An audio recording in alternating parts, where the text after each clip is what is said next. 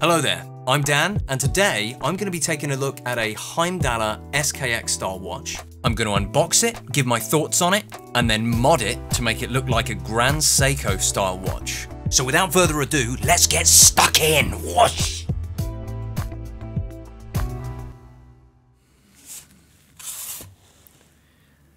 So there's the box. Let's have a look at the watch inside. Oh my. Fairly decent box, actually. Uh, yeah. Let's have a quick look underneath. Yeah. It comes with a thing to remove spring bars, little warranty card in here. Already I'm impressed with this. I've got another watch here as a uh, control. This is a custom built Seiko with mostly Namoki mod parts. You've got a nice bezel action. You know, signed crown, nice finishing on the case. That's a Miltat Strapcode bracelet, milled clasp. You know, very high quality. So let's unwrap this and see if it stacks up. Oh my. That, uh, that flat sapphire crystal actually looks pretty decent. The finishing on the case? Look at that!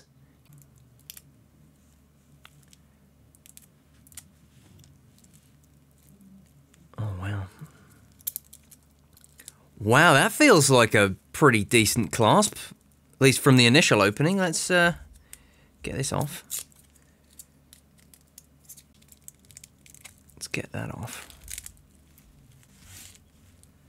And let's get this one off. The lume is already fantastic. You can really see, like, that is bright C3 lume. Wow, even the bracelet feels fine. It doesn't feel as premium. Well, maybe. It's not bad.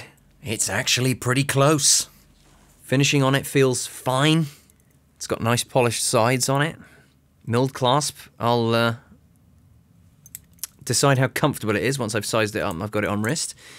Wow, this is this is really impressive. Let's set the time on it. See how the crown action is. Oh, winding action's decent. I like to set it the day before and then wind it over 12 o'clock and then we can check the function as well. Feels pretty smooth, like the operation of the watch is smooth. Although, yeah, look at that. It does tick over to the fourth long before midnight, which is unfortunate, but that's not a problem for me because I'm going to set new hands on it when I mod it. That chapter ring's nice too. Let's give it a bit of a wind. And that print on the dial is really clean. Yeah, the winding action's nice. How does the screw down crown feel? Hmm. Whoa, that's a bit stiff. Yeah, that's a bit stiff. Whoa. Let's have a look at the bezel action here. Whoa, that's not... That doesn't feel like a click spring. I mean, it's solid. It's nice and solid, actually. But that doesn't feel the same as the... Uh, if we listen to this. Just feels lighter, crisper. Easier to turn. And of course, you've got the uh, solid case back with the Sharky logo on it. Yeah, I'm impressed with this. This is this is really good value for money. For 120 quid, this is not bad at all. It's got weight to it. Like it, it feels solid. The case, especially the case. The bracelet's probably the cheapest feeling part. And yet, it's not terrible. How does this clasp feel? That feels fantastic. That is a good milled clasp. I'm almost sad to uh, swap it out.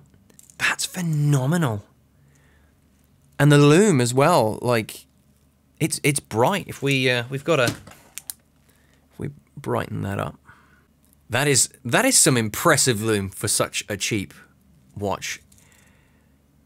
All round that's a really impressive watch. I'll be curious to see what the bezel is underneath.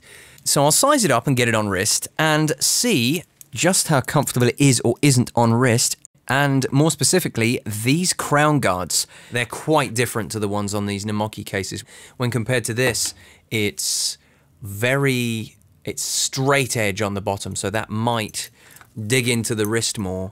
Right, so there it is on wrist.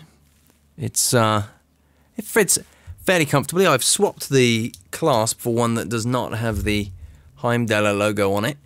Albeit, this one's actually better. This was one that I bought separately. This one's much more stiff than this one. The actual Heimdallr clasp is decent. And if you're not planning on modding this watch or do anything to it, this is a decent clasp. These crown guards do press in. They don't sharply dig into your hand, but you can feel it. After changing the links on the bracelet, I found that they are pin and collar, not push pins, and they feel really sturdy. The links individually, they feel they feel well made. Like this is a decent bracelet. This is definitely a smoother, easier ratcheting system than this. This is it's not bad though. It doesn't feel bad. It feels cheaper, yet at the same time, it feels incredibly sturdy. Like,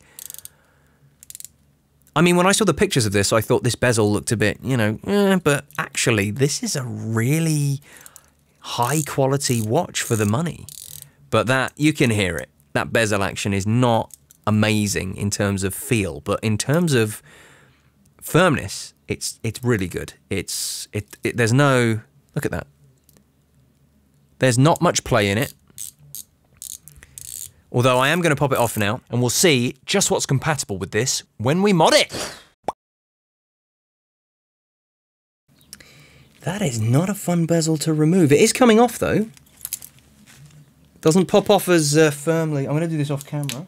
There we are. Oh, I see. Yeah. Surprise, surprise, it uses one of these.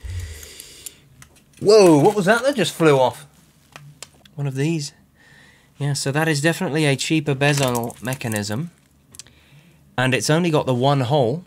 So if I wanted to use a click spring and a regular SKX bezel, I couldn't do it.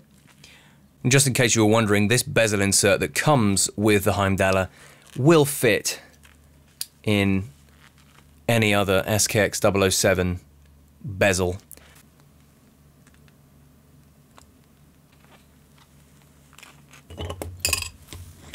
Oh dear, look at that big scratch on the case that I've done in trying to get that other bezel off.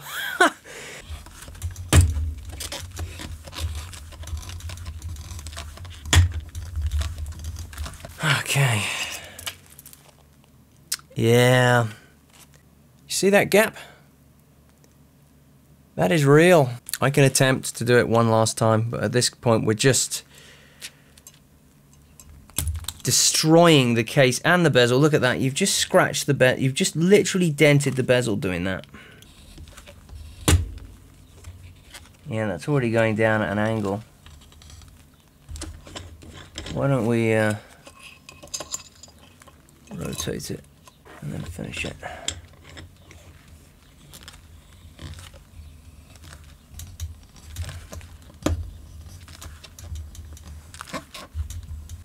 You can still see the gap. Ugh.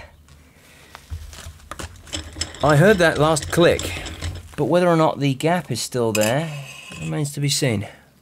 No? Ha ha! All the way around, that is now a nice flush fit.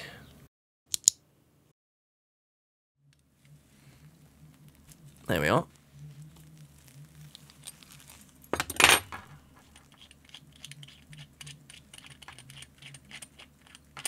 Decent screw case back. And there is the NH36 in all its glory.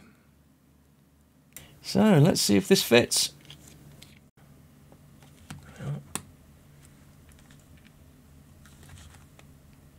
There we are, that's nice and tight. See that lovely NH36 in there. I do, I, even though I like the Namoki case back, I do prefer this one because it's a larger piece of glass so you can see more of the movement inside, and it's flatter, so it makes the watch less chunky. Now I'm going to see if these crown guards cause any discomfort by digging into the wrist. So I'll give it a couple of days and see how it feels. So if we want to take these crown guards here and just round off these edges, we're going to need to take the crown out, put the case back back on, maybe even take the movement out. There we are.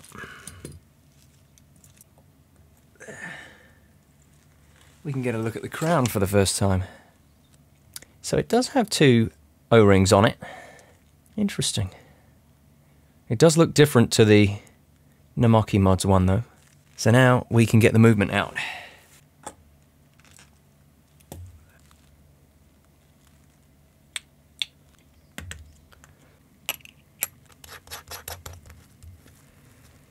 Got to be really careful not to catch the threads for the crown.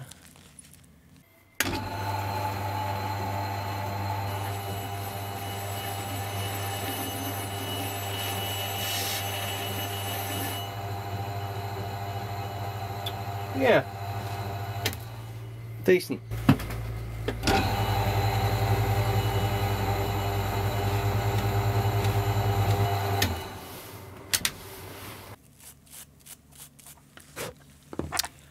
I think we've got a pretty decent result here. That's actually polished quite nicely. Since I've filed these down, this has been immensely more comfortable. In fact, it's just a comfortable watch to wear now. So that grinding down the crown guards has completely mitigated that problem, and it's just a pleasure to have on wrist. Although I'm replacing this dial, if you're not going to mod this watch, this is a beautiful dial. If you're not a fan of the Sharky logo, then, you know, it's a bit unfortunate, but it's got texture to it. It's sunburst. It's a nice deep black. When you shine light on it like this, you can really see that beautiful sunburst texture.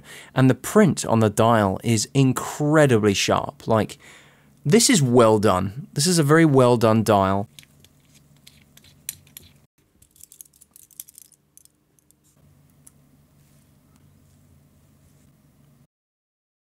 Line all these up roughly. Doesn't have to be perfect, as long as they're sort of aligned so that when you slide this under here, underneath all the hands,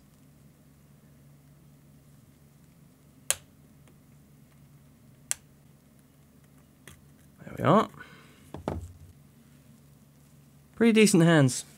So the first thing I'm going to do is put these hands in a safe place. So the next thing to do is to get the C-clip off the middle here, this little clip around the center. There, now you've got a little recess under there, you can just slip your screwdriver in. Get that up and off, there it is. There we are. And then in order to remove this one, we're going to have to take off these four screws sometimes it's important to put pressure on these, you know, strip the tops of them. Then you take this little metal plate off. So I'm going to use the Rodico and this wooden skewer to just pull this back. There. Let's take this one here, pop it on. There's two there's little feet here that stick out just here and just down here. So you got to make sure those are on. There we are that's better. So now I'm just going to turn it just a little bit to make sure it clicks into place there. And then we can put this metal plate back on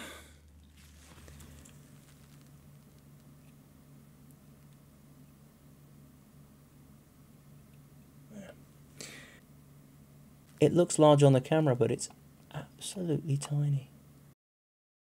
I'm just going to put in two of these screws to start. That way we can check the functionality of the date is working properly. Yeah, that looks good. Right, let's put the other screws in. So next, we put the day disc on, which is just in here. Then we use our little wooden thing here. Just put it onto the middle. And then I like to use my hands to press this on here, and you just sort of just like that. So yeah, so Sunday the 27th is where we want it to align, as you can see.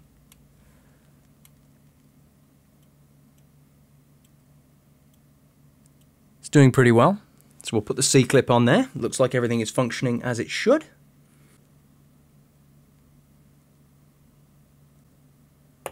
There we are. That satisfying little snap. So we're going to take the original dial, we're going to pop it back on. Excellent. Let's make sure that all the days line up as well. These might be useful for another day or another build. Say you buy an NH36 on eBay that has a 3 o'clock day date disc and you want 4 or 3.8 o'clock. Keep these for another build. So now comes the hard part. And that is to take this dial and remove the 3 o'clock dial feet from it and then stick it down here. You're obviously supposed to line it up with the date complication there, but I'm going to make a tiny little mark just to aid lining up the dial. You can see I've scratched that there, but I've made a very tiny mark there. Obviously, it, I would just mark, line it up with this, but of course this one's got it at 3 o'clock and this one's got it at 12 o'clock, so that's unfortunate. And these feet, we're going to chop them off with some nail clippers.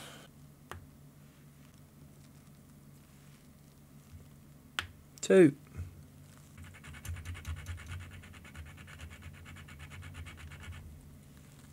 There, that's better. Nice and flat. Yeah, we've scuffed the back of it, but the front side of it is just fine. Take that off, put that to one side. In fact, we can put that in here. So we know that it's Saturday the 31st. So first, I'm just going to pop that on. So that's what it's going to look like. So I'm going to get some dial dots and lay them around the edge of the movement.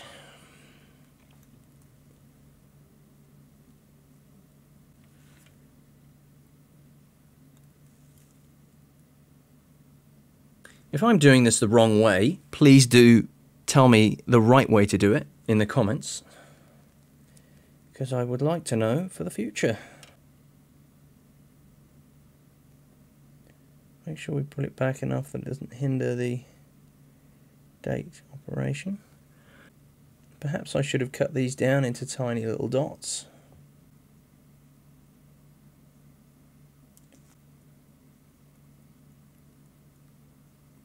So now we get the dial and we make our best attempt to get it aligned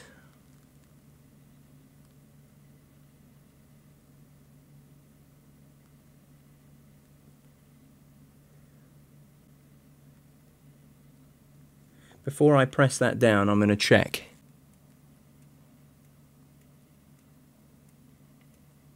They all seem to align. So I, I'm going to press that down. And I think before I clean it, I'm going to do a quick test fit in the case to make sure it lines up with the chapter ring.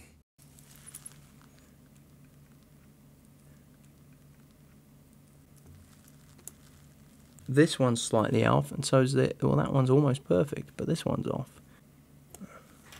Probably way too far.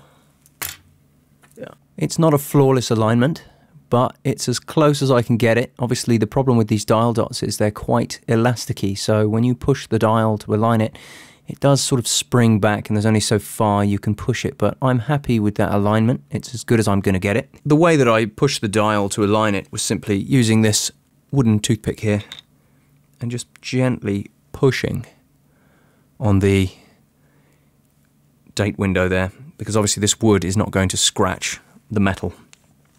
So we're going to clean up this dial and then put the hands on.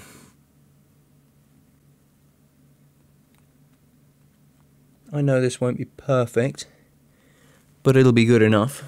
This is why I don't sell these, because if you were charging hundreds of pounds for something like this, if you were buying this for hundreds of pounds, you'd want it to be clean.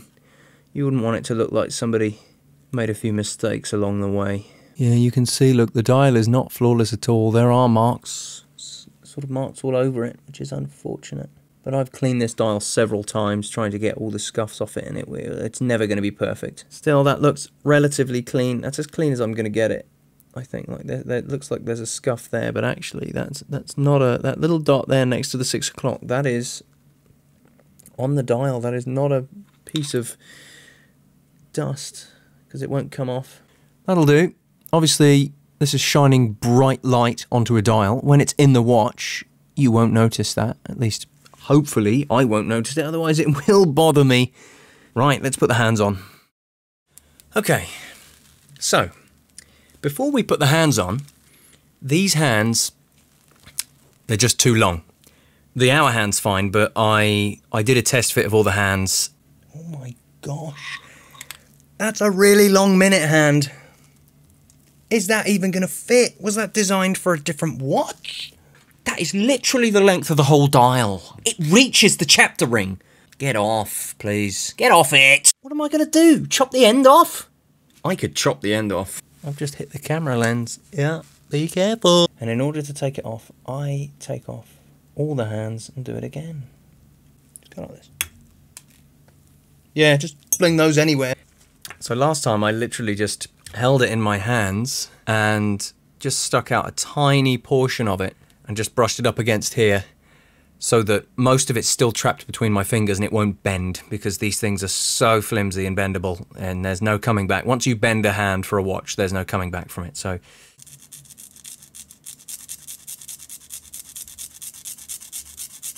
Yeah, that's definitely taken material off. Let's just make sure that it's straight. Fortunately, because I picked just metal Dauphine hands, you can do that with these, but with other hands I wouldn't. Obviously, you can't do this.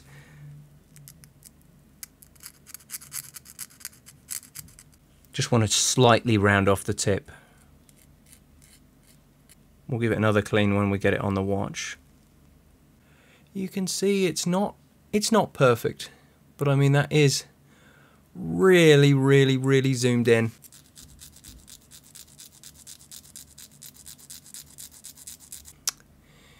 Let's see if it's uh, the right length. That's still a bit long.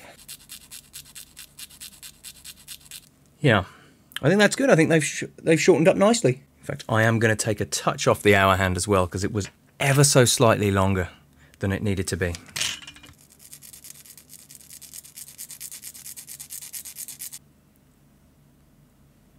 Right, now that I've filed those down, they should be a better length. Not, I'm going to get stuck inside the case anymore. I'm going to roll this over. There we are. Yeah, that's better. That's perfect. So, I've just got these hand presses here. So we'll start with this one. This is the larger one for the the hour hand. We're going to use the one with the large hole in the middle.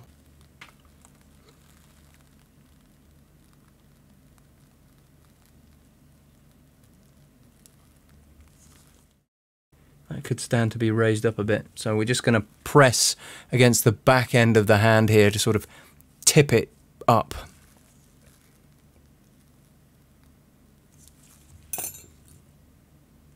Yeah, that's better. Right, let's check to see if it's okay.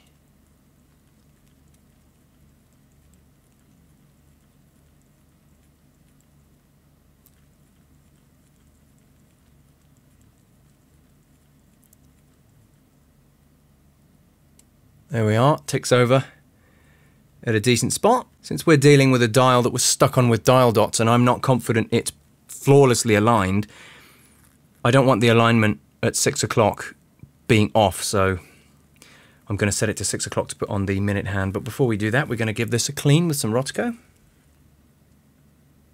Wow, is it just me or is that absolutely wriggling? Look at look at how much play that's got.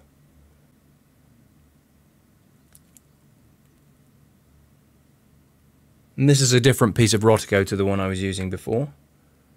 There.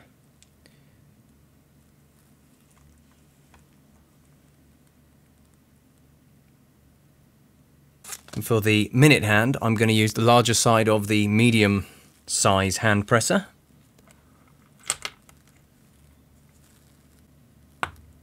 There we go. That satisfying snap as it goes on. So I'm just tipping it back again like I did with the other one. That looks good. Let's see how bad the alignment is. Seven o'clock's fine. Yeah, that's fine. What about 12 o'clock?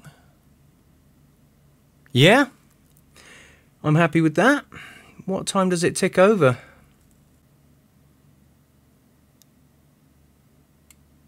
Just after 12. I am satisfied with that.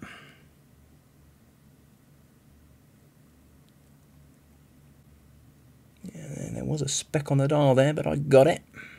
Oh, I tell you, when I took the hands off the first several times, I was using this, this Bergeon dial protector.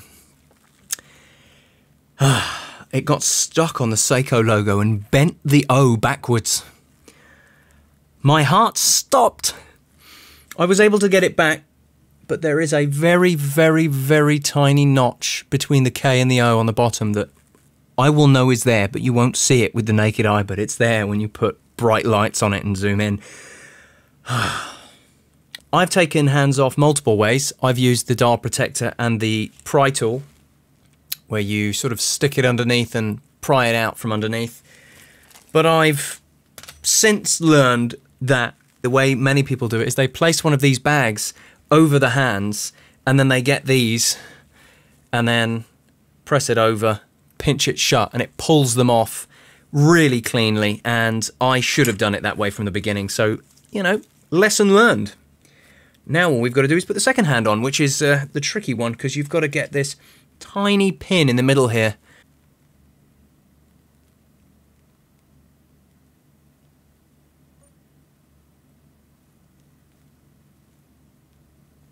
Is that actually on? I think it is. Let's make sure that it's level. That looks good. Now that I've got those fully pressed in, let's just make sure they're not interfering with each other.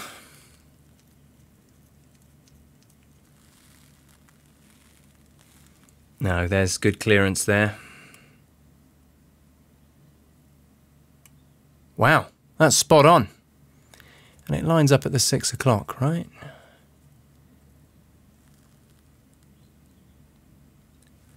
Yeah, that's pretty good.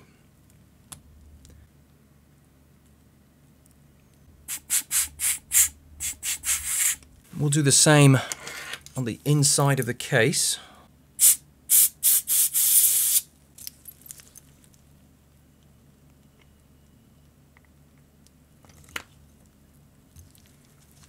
Just flip it over. And then gently press it down. Check the alignment. That needs an ever such a slight rotation. This way.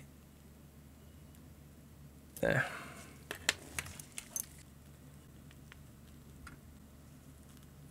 And we get the crown, put that in, make sure the operation of the watch is decent before we seal it up. Wine's good. That's functioning just fine.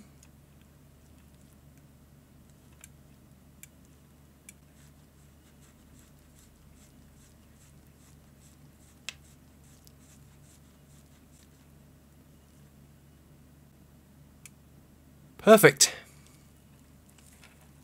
Right, let's get the case back on.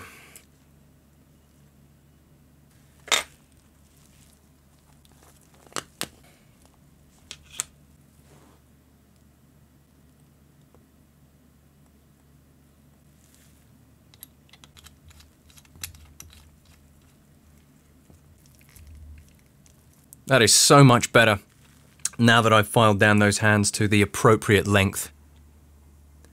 I'm very tempted to polish this bezel and polish the middle links of this bracelet to give it an even more dressier watch look, especially because the case does have different types of finishing on it and I wouldn't mind carrying that out through the rest.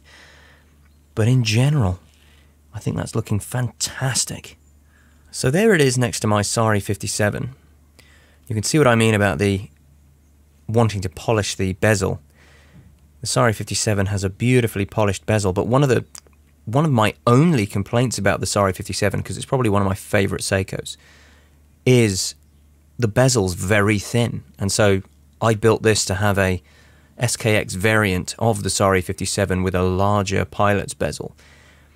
The only uh, actual modification I did to the SARY 57 here is I put on some Lucius Atelier hands that give it more of a Grand Seiko look since the original hands were Well, they're pretty much identical to this, really, except for the actual profile of them. They're much thinner than these Dauphine hands here.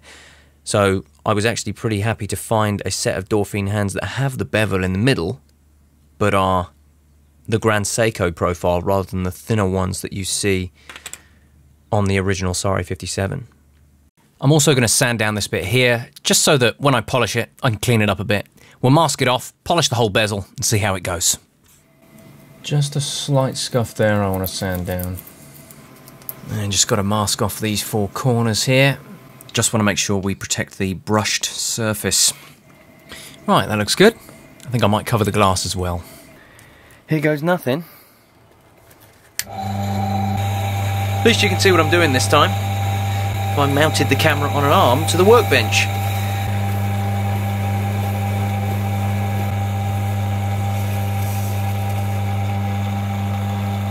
I'm going to use this Cape Cod polishing cloth here just to get rid of any scuffs that the polishing wheel might have left on it because it's it was not the right polishing wheel for the job and it's pretty haggard as well but this should just get rid of any surface scratches and make it look a bit neater, smoother.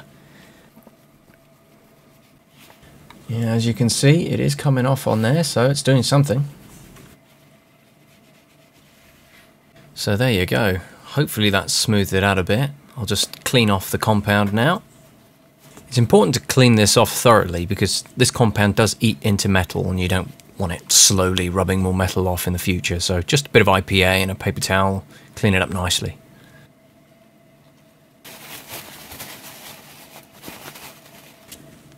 Yeah, I think uh, I think that's matching the rest of the case much better now.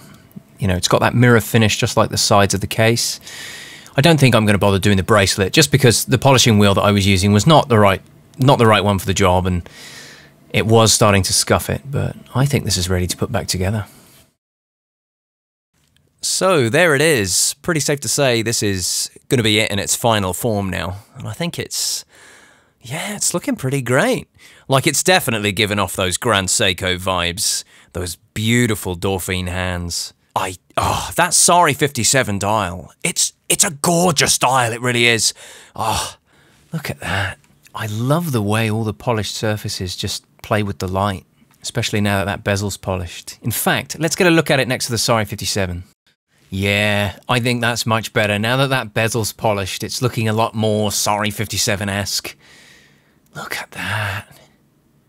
I'm just gutted that the uh, the day date wheel that I've got is not doesn't have the red Sunday because that really does pop on the SARY 57, doesn't it? Anyway, let's do a quick recap of what I did to it. I swapped the Heimdallr case back for a nice display case back here. I got this on AliExpress for about 12 quid. I'll just put it up on the screen. Then I swapped out the clasp for an identical 20mm clasp without any branding on it. And then there it is on wrist. And we swapped out the bezel, dial, hands, and day date disc, completely transforming it.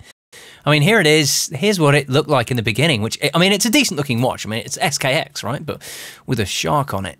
And you could just get an aftermarket SKX 007 dial like this one, put it on here to get rid of the Heimdallr branding. And if you wanted a Jubilee bracelet, they come with Jubilee bracelets as well for a bit of extra money.